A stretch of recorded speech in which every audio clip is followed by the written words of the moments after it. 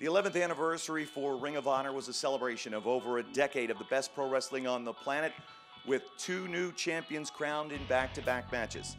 But the 11th anniversary was also a eulogy for ROH, when Scum, who sadistically vowed to kill the company, led an attack of violent domination never before seen. We've got highlights, lowlights, and exclusive comments from new champions here tonight inside Ring of Honor. It was almost a complete given in virtually the eyes of everyone that Adam Cole would defeat Matt Taven, retain the World Television title, and then move on to face Matt Hardy for that title right here on television. But a funny thing happened on the way to the match with Hardy. Matt Taven scored what perhaps will be the greatest upset in Ring of Honor history when he became the new World Television Champion. Matt Taven, the centerpiece of the HOT and the top prospect tournament winner, shocked yours truly, Matt Hardy at ringside, and most importantly, the now former TV champ, Adam Cole. Oh, you can hear it echoing across the arena. There's where Truth Martini pays those dividends. Oh, man! Modified DDT! Modified One, DDT! Two. What an instant. He got it! Oh, my God! We got a new champion! Let the hoopla begin. Matt Taven, new World Television Champion. What's next for Matt Hardy? More on that next week. Tag team titles also on the line at the 11th anniversary as the Briscoes defended against Bobby Fish and Kyle O'Reilly, the team known as Red Dragon. Blue collar toughness from the Briscoes versus a tough, sophisticated team in Red Dragon. First time these two teams met, it didn't go well for them boys. Wait a second.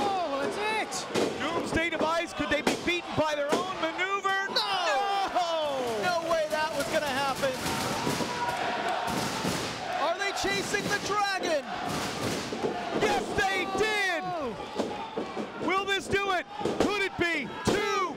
Yes! We have got Again! new tag team champions! Wow. Are you kidding me? And now, are you kidding me? They have asked that the title belts be put around their waist. And they're getting it. The arrogance of the new champs instructing the belts to be put around their waists.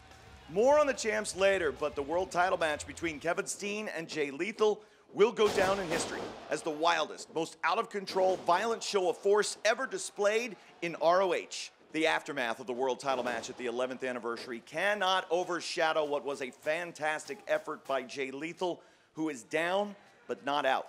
He'll have an opportunity to get back into title contention later in the hour here against Roderick Strong. Kevin, I know that you know that I took everything you had at the 11th anniversary show and I never backed down. Hell, I kicked out of the package pile driver. I'm not gonna cry and complain because as a wrestler, many a times we'll be down, but it's the great wrestlers that get back up. It's this great wrestler that is once again gonna prove to the world that he deserves a Ring of Honor World title shot. Kevin Steen, Nigel has granted me one more opportunity. Nigel said the winner of you versus Michael Elgin will receive a Ring of Honor World title shot. And best believe it's gonna be me. Speaking of the title hunt, the American Wolves have already been signed to face the new tag team champions Red Dragon at Supercard of Honor Friday, April 5th from the Hammerstein Ballroom in New York City, available exclusively on ROHWrestling.com. Go there for more information now. Davey and Eddie certainly are on the minds of the new tag team champions. Yes, thanks to Bobby Fish's superior training regimen and mentorship, Red Dragon has captured the Ring of Honor World Tag Team titles. Now, we may as well have just painted a big target on our backs because now that we're top of the food chain, everybody's gunning for us, which brings me to Supercard of Honor and the American Wolves. You see, apparently, the hunt is on once again, but. Red Dragon is going to put an end to hunting season and put down a couple of mangy dogs. The American Wolves, I'm a little bit shocked that you would even sign your name up for this. After what we did to you in the tag team gauntlet? Hey, you want to get kicked in the back of the head and then immediately follow that by being dropped on the very same head? I'm not here to judge how you want to spend your evenings, but Supercard of Honor for these straps? Let's do it, Wolves. Kyle, you climbed to the top. Got yourself a partner. Got yourself some shiny gold belts. You're the new team, the hot new team. Huh? How many times have we heard that Yeah. before, right? Well, let me tell you something. You see, you're nothing. I tell you, knock the old dogs off the block.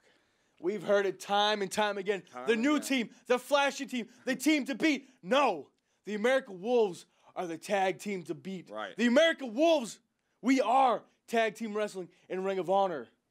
Bobby and Kyle, you are the new champs. You're the new dogs. But to us, fresh meat is what you are.